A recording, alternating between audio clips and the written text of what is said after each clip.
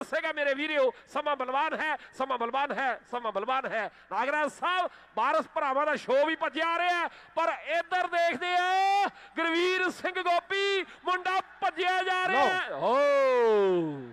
ਵੱਜ ਗਈ ਥਾਪੀ ਦੇ ਇਸ਼ਾਰੇ ਪਹਿਲਾਂ ਤਾਂ ਇਹੀ ਸੀਗਾ ਵੀ ਬੈਸਟ ਕੌਣ ਹੋਊਗਾ ਤੇ ਹੁਣ- ਪਰ ਸੁੰਨੜ ਸਾਹਿਬ ਹੁਣ ਤੇ ਕਹਾਣੀ ਹੋਰ ਹੋ ਗਈ ਵੀ ਫਾਸਟ ਕੌਣ ਹੋਊ ਸੈਕਿੰਡ